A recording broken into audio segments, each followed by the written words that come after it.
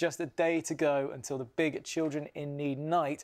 We still need to head over to Alex, who's behind the scenes in Salford. Oh, I am. And look who I have found. Mr. Vernon Kay lurking in the corridors.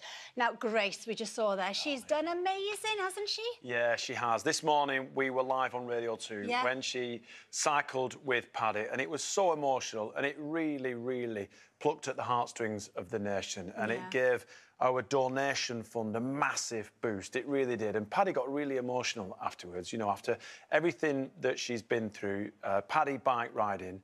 Uh, you know, it's something as simple as going out for a bike ride on a chopper that's raising a, a ridiculous amount of cash. And the one show as well, uh, with everything that we're doing as a collective, it's huge, Children in Need. It's huge. It and really good is. luck to Paddy. Oh, bless him. It's hard, isn't it? now. But of course, you know, it takes you back, doesn't it, to this time last year because you did your ultra ultra marathon. I was worried about you. I thought, oh my goodness.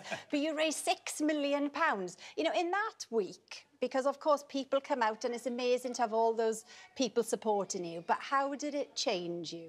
It made me realise that there's a lot of people who have it more difficult than you think. Yeah. You know, we talk about poverty within our communities, um, but it's rife. It really is. There are a lot of people out there who are really, really struggling, and Children in Need helps the kids of these communities. You know, it, it's something really simple as a couple of quid can feed a child for a day. Yeah. You know, give them a warm meal before school and a warm meal after school. Something as simple as that.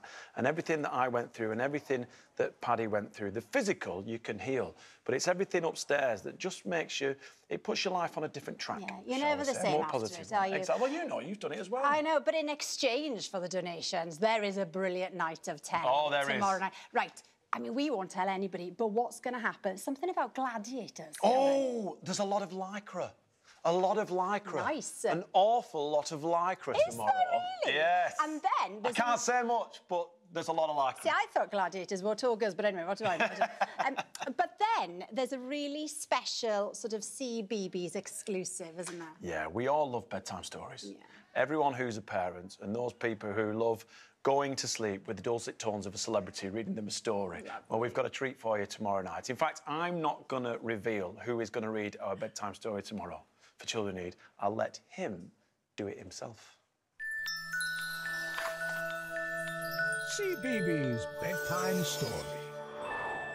Hello, I'm Gary Oldman, and I'm going to be reading a very special CBeebies bedtime story for children in need. I'll see you there. Gary Oldman, that is ridiculous. It's amazing. We've also got um, an outnumbered cast getting back together. Yeah, getting back together for There's tomorrow like night. um, a strictly secret Yes. thing with. Can we Can we- mention blue? Well, I think you've let the cat out Well, Tess has told Alex. you everything, Oh, yeah, she she, has. about yeah, that? yeah. There's a very, very exclusive Strictly Come Dancing with Bluey. She takes to the dance floor. And Uh, then, it's amazing. Did we mention Doctor Who? There's a, like a, big um, treat for Doctor Who fans, isn't Yeah, there? we've got a tease for the Christmas special, which is going to be amazing. And we've got performances, amazing musical performances, Rag and Bone Man as well, and many, many more. Well, we will be here. Roman's going to join us, and of course, the Challenge Squad live on BBC One, 7 pm tomorrow night. We will see you then, won't we? We will, will. absolutely. Oh, I cannot